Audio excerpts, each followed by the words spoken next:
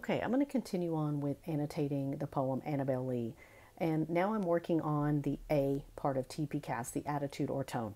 And you can see I already started and I had to stop because my cat Hermione jumped up in front of the camera and shoved my paper into the floor.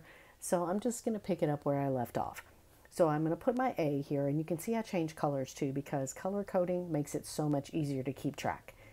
Now, what I did was I started going through stanza by stanza and I circled the, the words that stood out to me. So in the first stanza, I circled love, and I also made a note that many and many a year ago was a lot like once upon a time. Then I moved on to the second stanza and I circled child and I circled love again.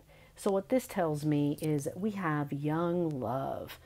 And I drew a happy face with little star or little heart eyes. And I put the words happiness and joy because that really struck me as the tone of this. Um, then I'm going to move on and I circled the word chilling. Now that's definitely different than the feelings that were up here.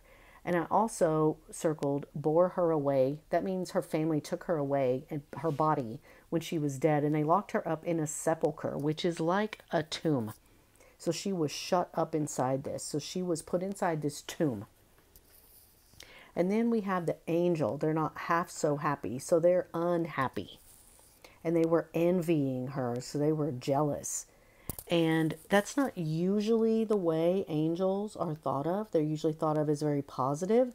So for them to be negative and have all this negative feeling and hate, this definitely gave these two stanzas a very different tone than what we had dealt with before. So I'm going to link those two stanzas as well. And I'm going to put I'm going to put a really angry scowly face right here with you know, angry angry eyebrows because this is very very different.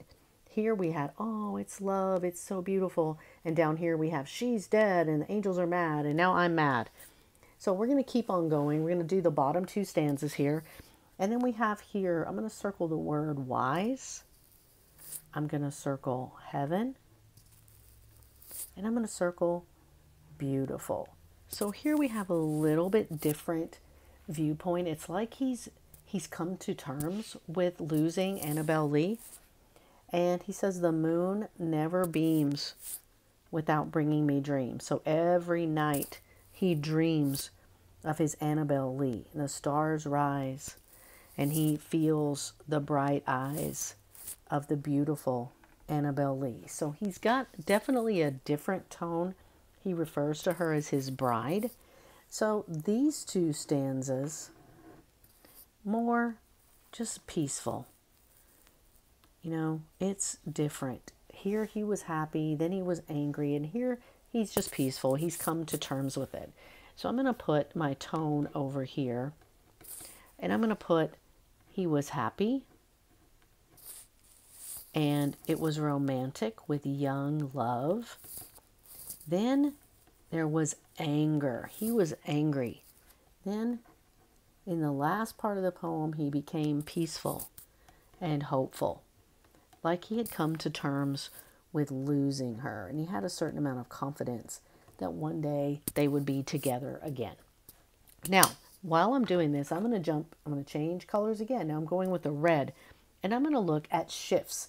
Now, our once we annotated for tone, we can see our shifts. There's one right here where he shifts from happy to angry. Then we have another shift right here where he shifts from angry to peaceful to resolved. So we can say our shift is from happy